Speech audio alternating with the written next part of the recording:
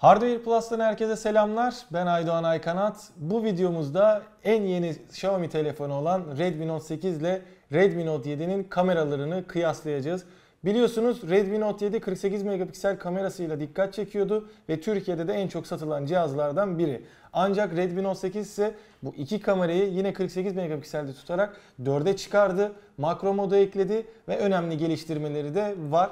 Gelin şimdi bu videoda Redmi Note 8, Redmi Note 7'ye göre ne kadar iyi fotoğraf ve video çekiyor hep beraber görelim.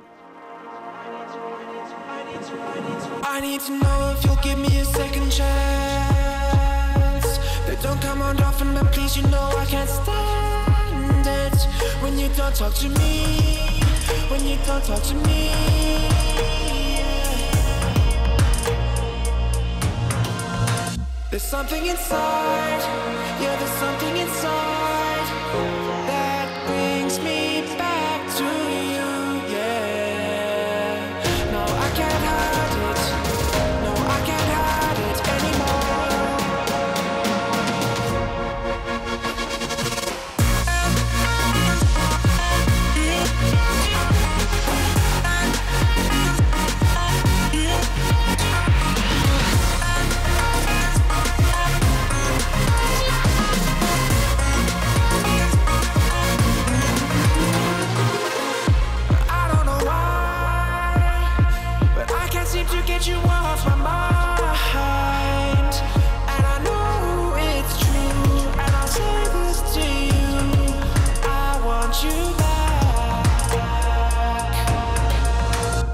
something inside, yeah, there's something inside that brings me back to you, yeah.